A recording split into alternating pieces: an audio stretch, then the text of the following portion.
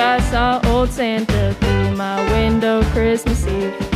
My eyes were really droopy, but I really do believe it must have been old Santa. Cause I saw his big red hat, and I know my mom and dad can't fly like that. Oh no. I know my mom and dad can't fly like that. And then I heard some footsteps in the hall outside my door. The same old Christmas trick my dad had played since I was four.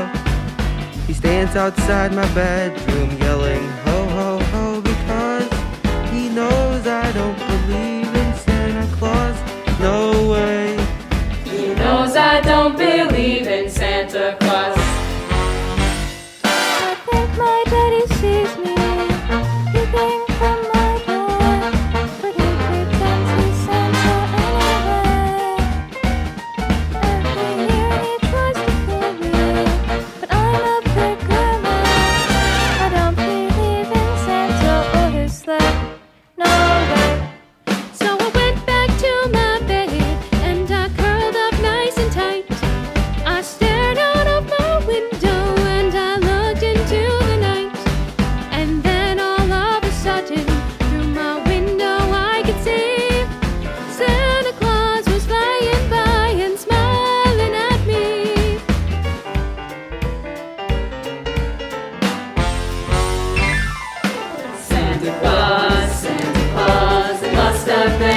Santa Claus. Santa Claus, Santa Claus, happy ho ho ho to you.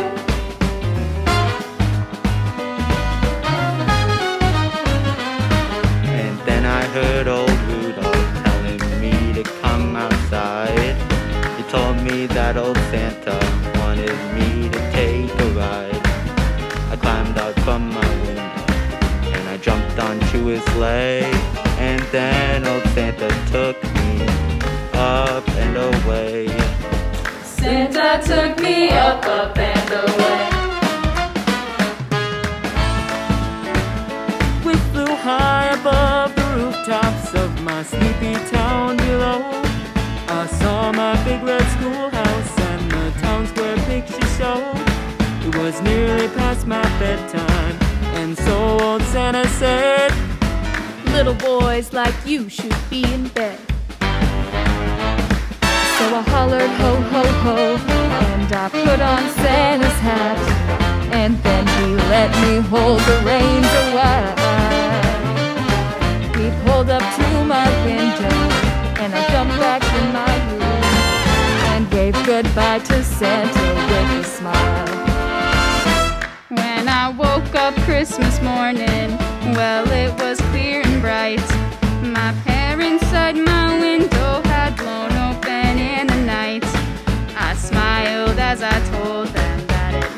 have been the cat. And they asked me where I got my big red hat. Yeah, yeah. And they asked me where I got my big red hat.